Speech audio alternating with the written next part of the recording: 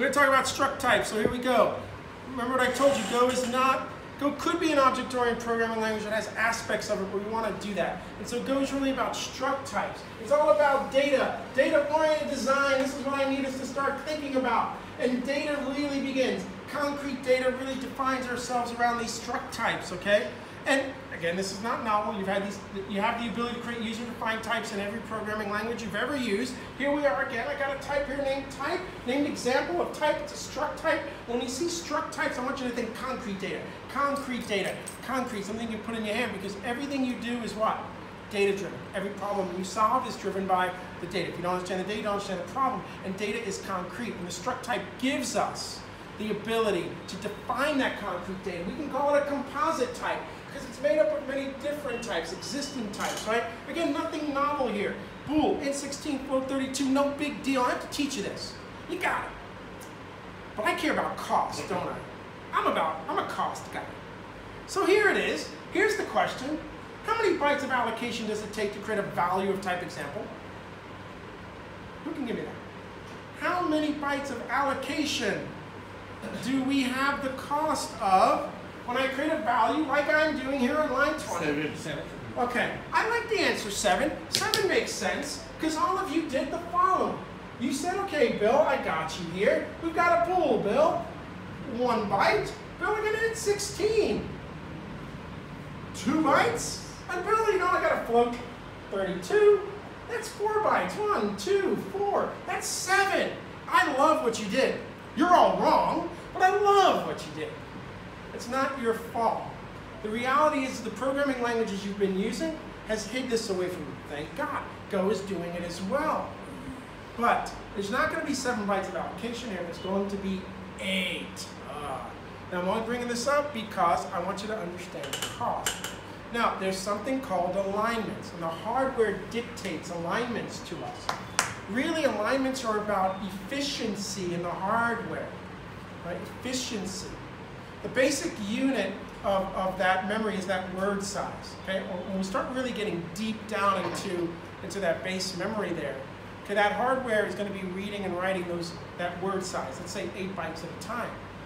And so what happens is, is every word there is, an, is, a, is a cost, it's an operation.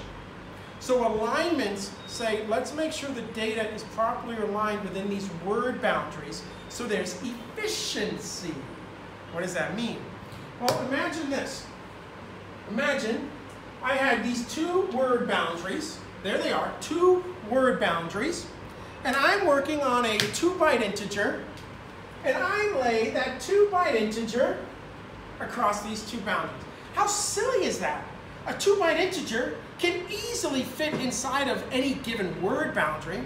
But now that I've done this, now that I've misaligned this memory, in order to read and write, I have to do how many operations?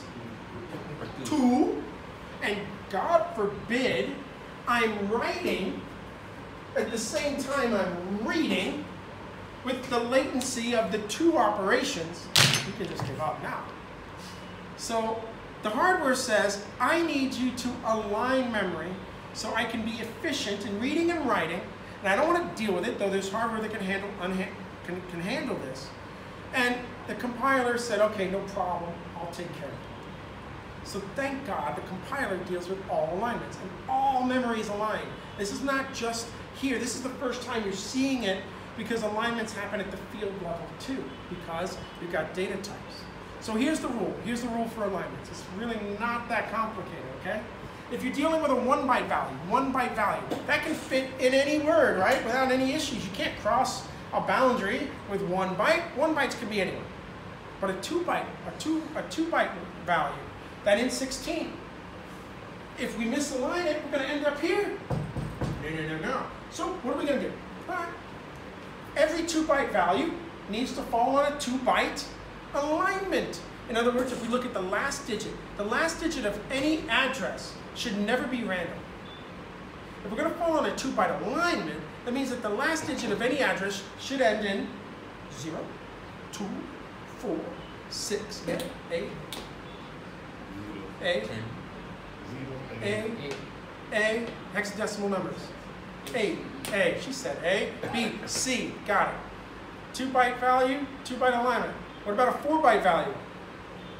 Four byte alignment, zero, four, eight, C. Okay? Eight byte values, eight byte alignments, zero, eight, zero, eight, zero, eight. We can look at the last digit of any integer and know exactly what it should be within, within, that, within that range. Now there's one more rule for structs. Ingo says, okay, the entire struct value should fall on an alignment based on the largest field. So this struct has to also land on a 4 byte boundary with the full value. So if you walk this now, you're going to see the following. The bool can be anywhere, correct? Let's say it's at address 0. The 2 byte integer, that can't be anywhere. That has to fall on what? A 2 byte alignment. That's going to end up on 2. What happened to the byte at address 1? Padding. Love that word. Yes. That's the padding byte. It gets skipped over because of the alignment. And now we know this falls on 4. So the one byte of padding is in between those two fields. Ah, we understand cost. So this gets interesting. Now, how many bytes of padding do we have between the bool and count? Three. Yeah, because that second field has to fall on a four byte. Ah, you get it. If I make it 64, seven. Ah, padding bytes. Now, as a micro optimization, let's say that you did a memory profile. You're using a lot of memory. One way we could reduce memory is by making sure that we reduce padding. One way to reduce padding is to order fields from largest to smallest. Now, I promise you this. If I do a code review and I see a struct that's ordered from largest to smallest, you and I are going to take a walk. Because now you're optimizing for performance and not readability.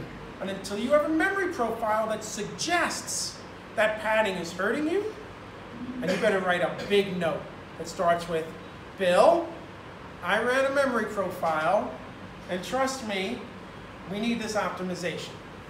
I am not teaching you this so you run back into your code and start reordering structs. No, fields should be ordered in a logical, readable order. But it's one way of reducing some memory consumption. You've got programs dealing with very large amounts of things, and you absolutely need it. I'm teaching you this because I want you to understand cost. And understanding cost understands allocation. All right? Now you can read any struct, and you got it. And remember again, if there was an 8 byte field here, then the, the, the entire struct still has to be aligned on an 8 byte, and there could be always some padding at the bottom. Okay? Again, all this padding and these things are all for efficiencies, efficiencies, right? We'll take the cost of a little extra memory for the, the efficiency. Yeah? Remember, engineering is all about what? What cost you're going to take for what gain you need.